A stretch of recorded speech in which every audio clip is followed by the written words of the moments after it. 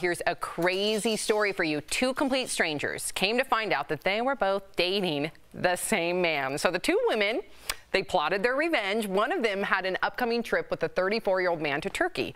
So the other one bought a plane ticket and met the couple in the airport. They confronted him, leaving him speechless. The two women then went on vacation together, having changed all the reservations to cut out the cheater. They spent the entire trip getting to know one another. Then they even flew back to the state seated behind their now ex boyfriend. So apparently, this is a growing trend on TikTok, exposing cheaters and teaming up with the other woman. So what do you guys think of this? And would you want to spend your vacation like this? Al, why do you have a sourpuss look on your face? I think this is super embarrassing. What? How about you move on like a grown-up? You guys are not you guys are not friends. Uh, Jeff, I always say we're not friends until we are. And this woman, I guarantee you, when there are two women together, like, oh yeah, girl, he's terrible. As soon as they have that little, oh, we're bonding sister situation, as soon as that happens, the other one's gonna try and ditch and get back with the no. dude. Because the one that got the plane ticket has all the leverage, like, hey, at least least that was the plane ticket one. You weren't even going to Turkey, player. Erica, what are you thinking? Look at Erica's Talk face. to me, Erica, and tell me I'm lying.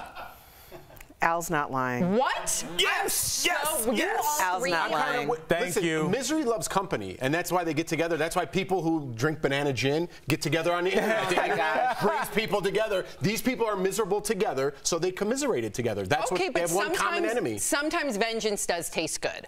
Like this That's dude. That's not a saying. Um, Sam, Erica, saying. Erica was agreeing with me. Okay, I did see Erica agreeing with you. But listen, these two women were definitely scorned by this man, right? They both didn't know that he was with the other one. So it's not like that, you know, sometimes there's infidelity involved and you know that that person is actually in an active relationship. This wasn't the case. So if this it gave wasn't? them, if this, no, they both didn't, they both thought he was single, is my point. Sometimes you have someone come in and they know that they're married or they oh, know that oh, they're together. I this gotcha. one, there Knowingly. was no nefarious actions from the women. They both were scorned. If this is what gave them peace, I love it because we always see sometimes, you know, the, the, the headline is two women will get in a fight, right? And then the man gets off scot-free. Erica was agreeing with me. I, and she's still well, agreeing with you. I, I, am. I am. I mean, that, there's this idea that the enemy of my enemy is my friend. No, they not. You don't know that woman. But maybe they did like, each other. Like you know, there's there's no. Well, no, they knew based on a crazy circumstance that now they're now they're becoming friends. Like that's it. Just feels to me like you got a little bit too much time on your hands. I agree with Al. Mm. Good for Can you, I just girls. Leave the show I hope now? you girls I'm done had for the day.